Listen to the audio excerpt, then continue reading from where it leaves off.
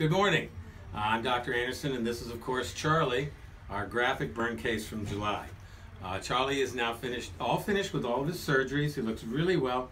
He likes his sweater uh, because he likes to lick himself a lot, and we don't want him to do that.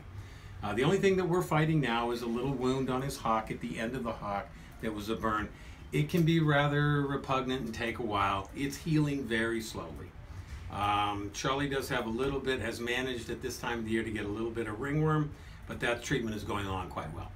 Um, today is a very special day for a lot of animals like him uh, all over the country. I'm encouraging anybody who views this, or you can talk to any of your friends, we're encouraging anybody that can donate anything at all to any of the nonprofit groups that deal with any of the homeless animals that require medical or surgical care.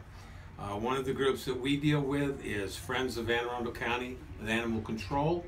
Today is a day which you can contact them on their website, donate anything you can.